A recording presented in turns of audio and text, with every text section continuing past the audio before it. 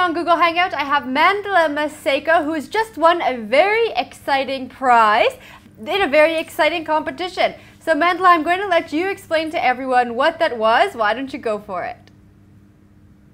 Okay, hi guys. My name is Mandla Maseko, and I am the future generation astronaut. I won a two-way ticket to space uh, through the Axe Apollo Space Academy. You are one of 23 winners. What did you have to do to win this amazing prize?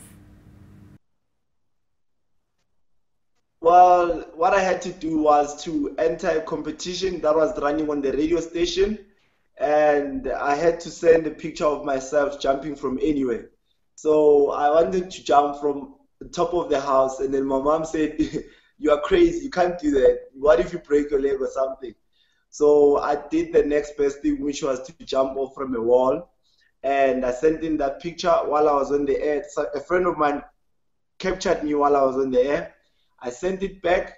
They called me, and then I made it to the top 30 that was going to the local space camp here in South, in South Africa that was held in Free State, in Parys. Okay, okay, great. So you had to participate in what seems to me like it was a very strenuous competition. Can you tell me about some of the things you had to do? Yes, ma'am. Uh, here in the local space camp, we had to do three challenges, of which of them two were compulsory.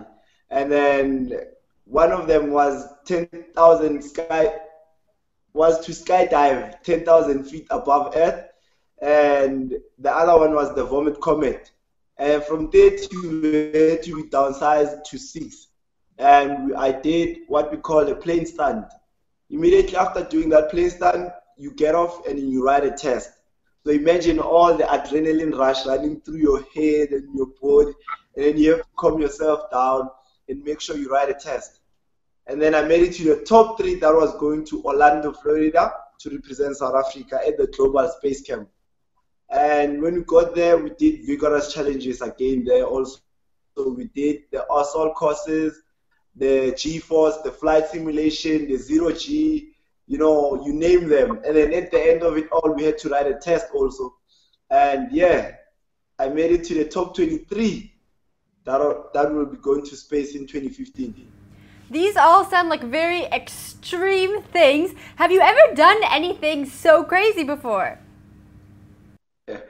I think the extremist thing that I've done was to be in a fast car. That was the extremist. so, to answer your question, no, I've never done any of them before. It was my first time, and I can safely say I've nailed them all. You know, uh, I am that typical township boy whereby you throw anything to him. If I don't know it, I will tell you straight up I don't know it. But then I'm gonna make sure that I learn it and then I master it. And yeah, I did all of that. okay, well, legendary spaceman Buzz Aldrin was one of the judges at the competition. What was it like to meet him? You know, the first time I saw Buzz Aldrin was on a movie called Transformers. And uh, wow, getting to see him live on its own was an experience and a half. And after shaking his shaking his hand, that's when I said, you know what, I have to get this. This is what I want, and yeah, I got it. Okay, well, you were one of three South Africans who represented South Africa at the competition. You said you entered a radio contest. What made you want to enter? You know, I was sitting back at home and you know i wanted something to inspire and motivate the youth you know. I wanted something that would rekindle that thing in people's minds that you can get anything you want as long as you put your mind and hard work into it you know. So um, i can safely say it got me at the right time at the right state of mind you know. And i heard and i listened and i acted. Now i've, I've done it well, your story is definitely a motivational one. Did you ever want to go to space before entering this competition? I've always wanted to go to space, but reason, uh, but then us were not allowed to think that far. You know, um, Yeah, but then I've always wanted to go to space, especially after I've watched a movie called the Apollo 13. That's when I said, you know what, I have to do this. Well, you're going to be the second South African to go to space and the first black South African. What does that make you feel like? Um, it is an honor and a privilege to be, uh, well, to be counted amongst the first people that, you know, when you think of the name first black president, first South African to go to space, just to think your name will be resonated amongst those lines, you know, it's, it's just an honor and a privilege and also I sort of feel like you know um, Mandela has passed on the torch to me and said, "I've ran the race up until this far. Now here's the torch. Continue to inspire the youth and run it to new heights and new heights meaning space. So yeah, I'm gonna run it to space." Well, we're definitely looking forward to your um, next adventure. Can you tell us when you're taking off and heading up into space? I will be taking off in 2015, and um, my flight it's an uh, it's an hour's trip. Reason why I'll be taking off in 2015, the XCOR that is under the SXC, they are still building the Lynx Mark II spacecraft, of which now I think they are running their final test. And as soon as they're done with their final test, then I will get to be someone to come to Orlando, Florida, and then do my final training and yeah, get to go to launch and go to space. That's amazing. How many people will be heading into space with you? We in a in a in a Lynx space in a Lynx spacecraft, it's only two people. It'll be the pilot and me. But then all in all, all 23 of us will go to space. And also, can I just add this also? The SXC they're trying to make space to be a, tro- a tourist attraction. So I think there's more people who bought tickets than 23 of us who won. Okay, well, that's 2015. What is life like for you now?